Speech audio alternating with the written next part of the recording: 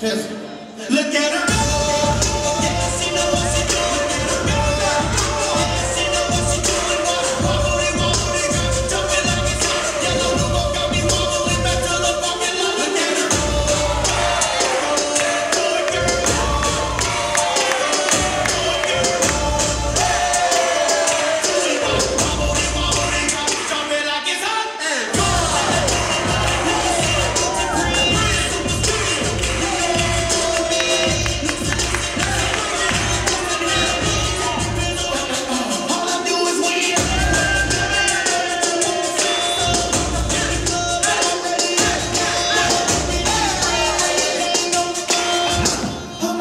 Gotta do this all.